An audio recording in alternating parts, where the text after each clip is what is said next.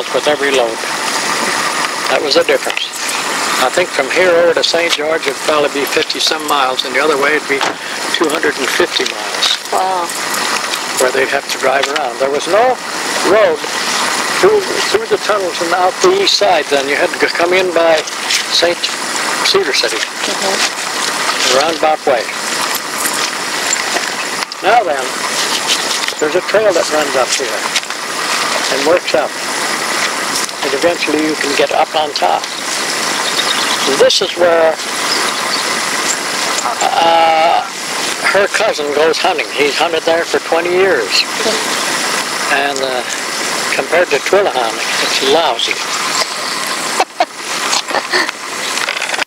There.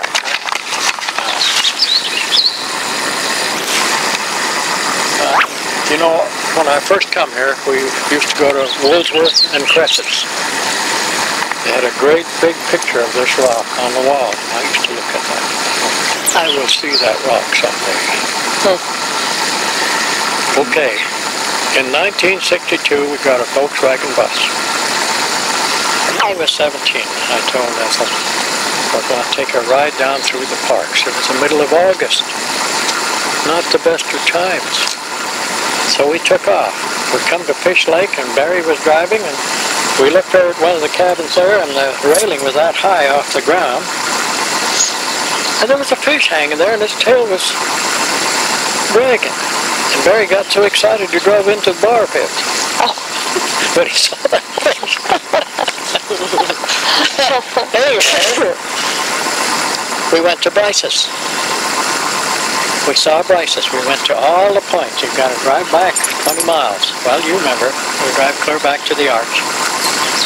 Then we come here and we slept on the sand on the east side. Uh, I thought we wouldn't sleep on the ground on account of snakes. Barry and I slept in the sand there in our sleeping bags. Had a good night's rest. And as we come in,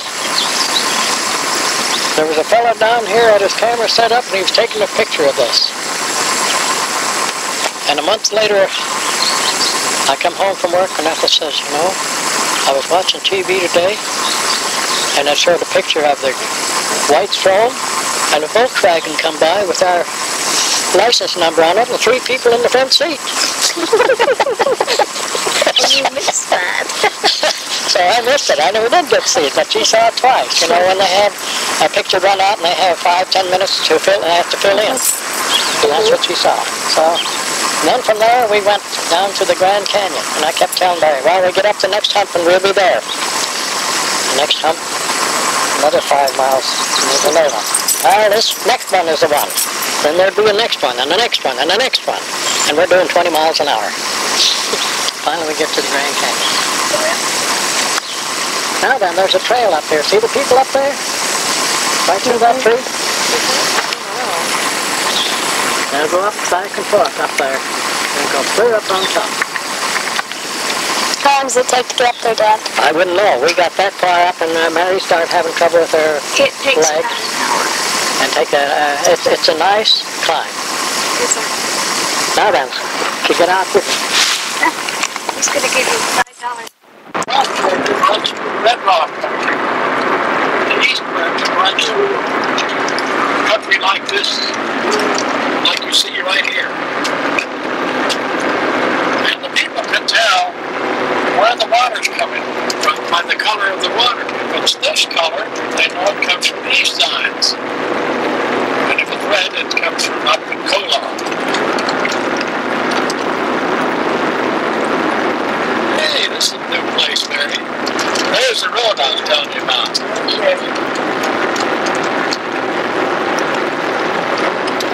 Everybody donated what they had into the community.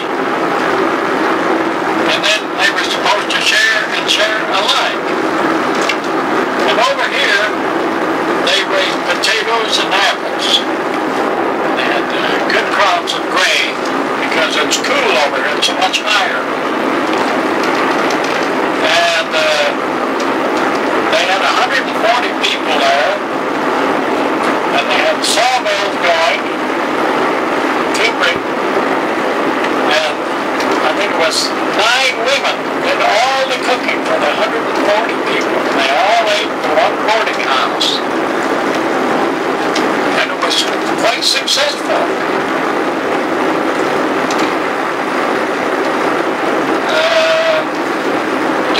operation, they quit it. Now, over at Toquerville, they had the same thing going. But it so happened that a few started getting control of all the property, so they cut it out.